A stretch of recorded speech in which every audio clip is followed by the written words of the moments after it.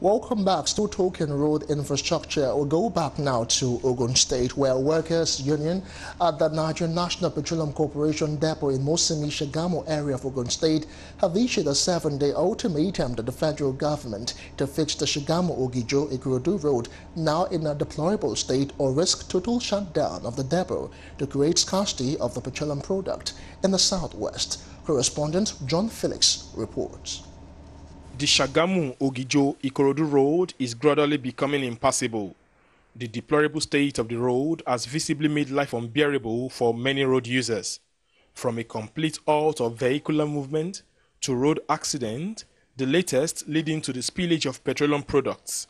This accident is just one of many that occur on this stretch of road, as it has resulted in commuters spending longer hours in the road, stranded and tired.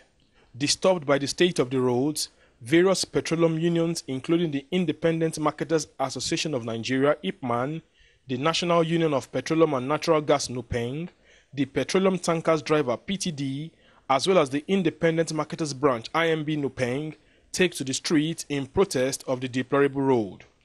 Speaking to Galaxy News, the union leaders lament the loss of their members to accidents, which occur as a result of the bad road due to its deplorable condition? Uh, for more than uh, uh, 10, 15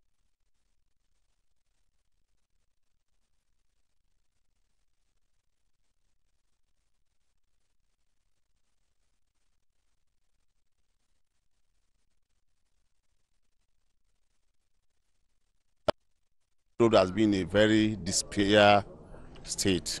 And you will agree with me that uh, especially during this rainy season, we are facing a lot of hardship. As you can see, you can see lineup of vehicles. Some vehicles have loaded from Mosimi. Since three days ago, they cannot they cannot go to the respective filling stations.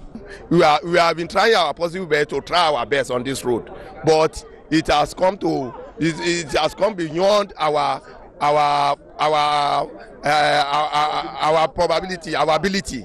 So we want federal government to come and do this thing and they can do it. Emphasizing that their businesses have become moribund, the union chairman expressed dismay over what they described as complete negligence of the road, where both the state and the federal government generate tangible revenue.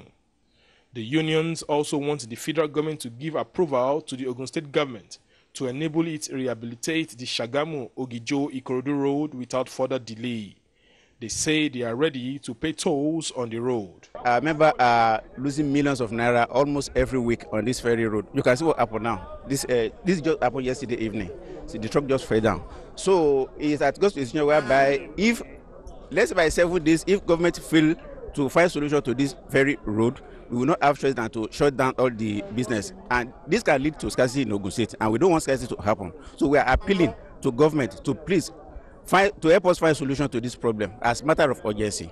If something is not done urgently, urgently, there is going to be scarcity because this Mosimi depot represent is the is the major depot that is loading southwest. As the Ogun State government seeks to take over the road, only time will tell if the threat issued by the petroleum workers will hold water.